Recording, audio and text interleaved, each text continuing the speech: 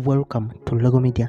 A 14 year old boy has died after falling from a 430 foot tall thrill ride at an amusement park in Orlando.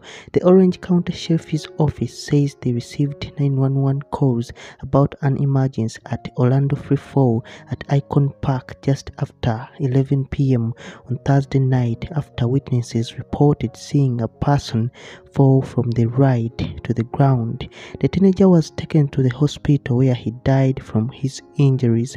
Video recorded by witnesses show the deadly fall is circulating on social media.